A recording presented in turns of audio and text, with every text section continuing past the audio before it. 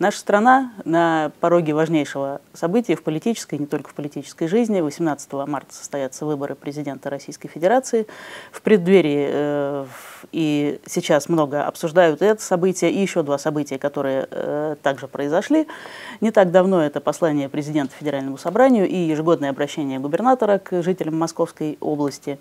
Обо всем этом мы поговорим сегодня с главой Щелковского муниципального района Алексеем Валовым. Здравствуйте, Алексей Васильевич. Добрый день. Очень хорошо, что вы нашли время все-таки встретиться. У меня практически времени-то нет. Но нашли, молодцы, согласовали. Но я с удовольствием отвечаю на вопросы жителям, когда у вас в прямом эфире на программе «Диалог» даже иногда волнуюсь, когда прихожу туда, понимаю, что вопросы будут непростые. Но я заметил, от программы программы все-таки острота-то снижается. Мы находим общий язык не только потому, что работаем в соцсетях, не только потому, что встречаемся, а потому, что у людей появилась надежда на то, что все-таки эти изменения, которые происходят в районе, они будут продолжаться дальше, и альтернативы им нет. У нас сегодня с вами, Алексей Васильевич, диалог неформальный. Неформальный. Не, совсем неформальный. Но повод более чем важный для того, чтобы действительно Это главный повод. встретиться и поговорить. 18 марта мы выбираем не какого-то мелкого чиновничка муниципального, не губернатора даже. Мы выбираем лидера нации. Лидера, который должен уверенно повести Россию за собой дальше, к новым свершениям, к новым рубежам, к новому качеству жизни.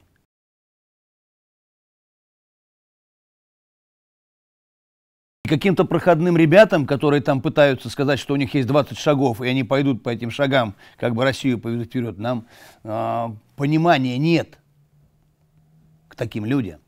Потому что мы видели те шаги, которые уже были, те шаги, которые состоялись. Иногда шаги настолько были скрыты от нас, завулированы какими-то скандальными фейками, чтобы весь западный мир подумал, в России все плохо. Здесь постоянно воруют, здесь постоянно делают что-то не то. Здесь постоянно идет э, напряженка и в армии, и в промышленности, и в сельском хозяйстве. А все готовилось к тому, чтобы Россия, в конце концов, выстрелила собой, как страна, способная показать всему миру свою эпоху Возрождения. Свой драйв русский. И оно показало и в армии, и на флоте, и в сельском хозяйстве, и в промышленном строительстве, и в благоустройстве, во всех направлениях без исключения последнее время было просто прорывное. Мы не, не ожидали, что после такого полного запустения в России начнется такое динамичное движение вперед расцвет. Вот я всю жизнь пахал на свою страну, на свой народ, на всех людей и не ожидал, что есть же и гораздо умнее, гораздо прозорливее руководители, которые не только там как раб на галерах пашут, но еще при этом как раб на галерах думают, как стране развиваться. И вот мы увидели в обращениях и губернатора, и президента, как развивается Московская область, как развивается Российская Федерация, на что нам опираться. А опираться нам надо на свой народ – на свои кадры, на своих ученых, на своих сельхозпроизводителей, на своих промышленно-товарных производителей, на наших пенсионеров, у которых не все просто. Потому что так упали, что подняться, конечно же, надо. И обязательно поднимемся в этом плане. Но пока-то плохо. И он не скрывает, он не врет, он не изворачивается, он не вводит в какую-то пустоту, не обещает там где-то ноги свои помыть в каком-то Индийском океане.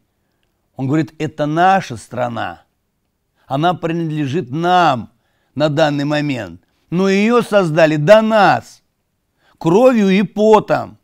Кровью своей, предков я имею в виду, и кровью врагов залили всю эту землю, чтобы она осталась нашей. И мы как это поколение, которое на данный момент владеет этой территорией и управляет ей, должны сохранить и развить ее дальше во имя будущих поколений. В чем заключается суть России? В том, что она всегда живет исторически в настоящем, но думая в будущее.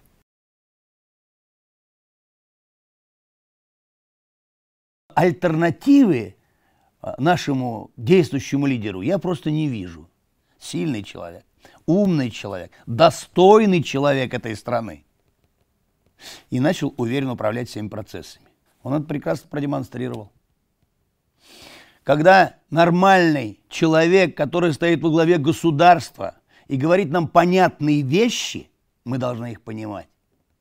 Они дали нам возможность самоуничтожиться, запустив за этот период достаточно огромный потенциал и финансовый, и морально-нравственный, и физический даже, чтобы уничтожить наше гражданское общество как таковое и разделить его окончательно. Расслоить до такой степени, чтобы опять началась очередная фаза ненависти. Но этого не произошло. По одной простой причине выстроена политическая позиция лидера. Для него все мы одинаковые. И он не вешает и не сажает на кол своих оппонентов. Он ведет с ними вежливый, выстроенный, правильный диалог. Если вы говорите, что вы лучше, докажите этим. Почему вы врете? Зачем врать людям? Вот жизненный принцип. Всегда смотри в глаза и говори правду. И он везде, где бы ни был, он всегда говорит правду. Как это нелегко бы было ему в ответ получать реакцию от оппозиционных СМИ за эту правду, но он всегда говорит правду.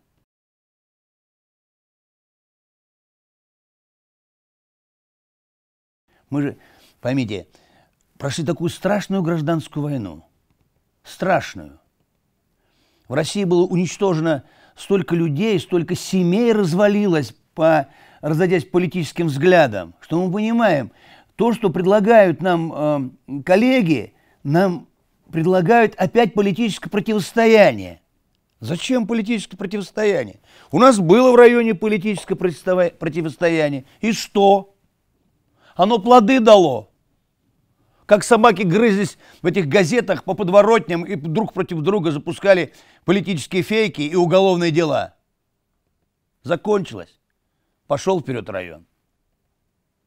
Политическая альтернатива – это альтернатива на созидание, если такая есть.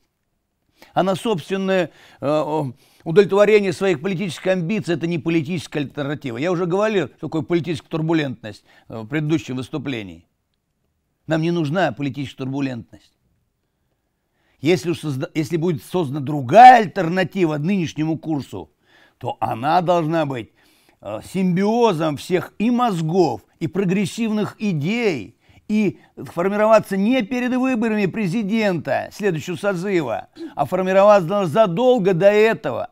И она задолго до этого должна была донести не на западные госдеповские деньги, которые широкой как бы души туда пускали на процветание этих альтернативных политических взглядов наши партнеры западные, а именно за счет своего интеллекта, за счет внутреннего убеждения, что вот так надо сделать что именно по этому пути нашей матушки православной России идти дальше.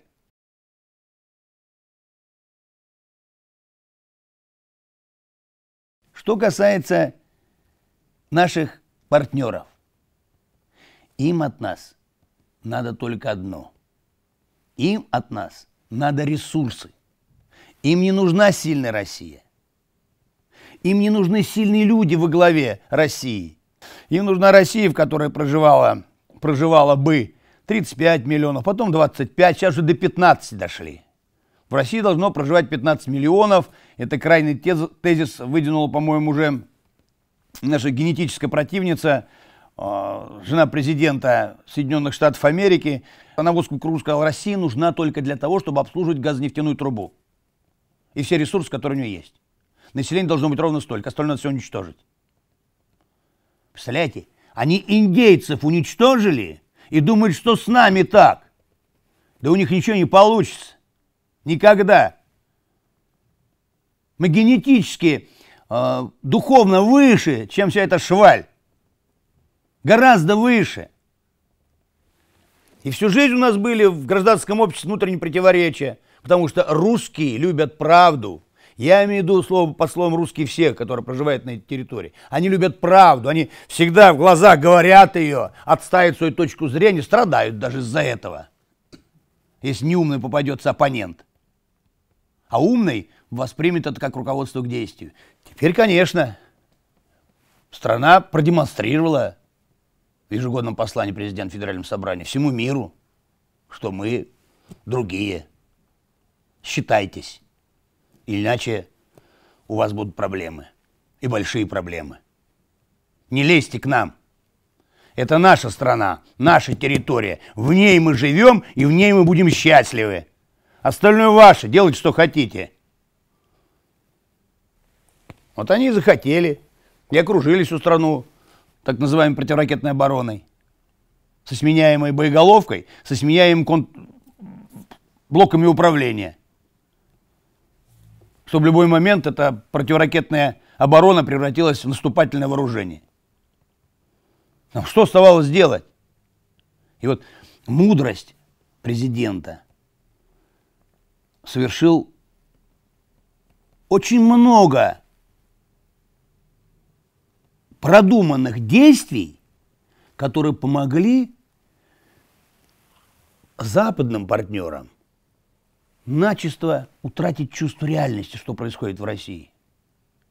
Они просто не знали, что происходит, а создавалось то, что на данный момент должно помочь в развитии России дальше. По всем направлениям без исключения. Показывали самые отсталые, самые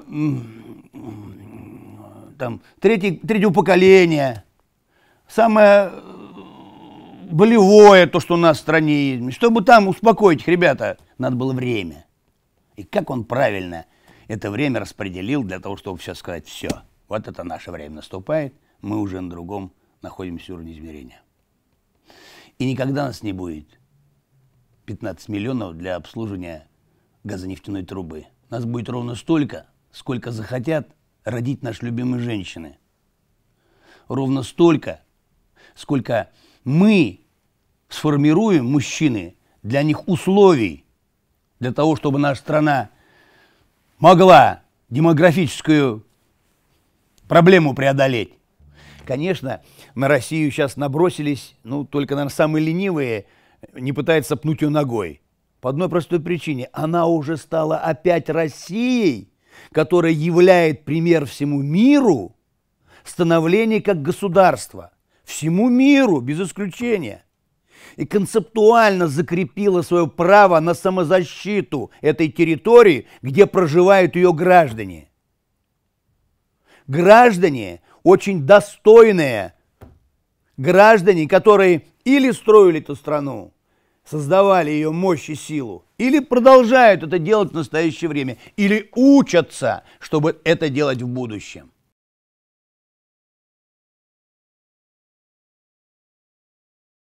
Надо не обманывать и лгать друг другу, а прийти 18 числа и сказать, я люблю Россию, вот мой голос.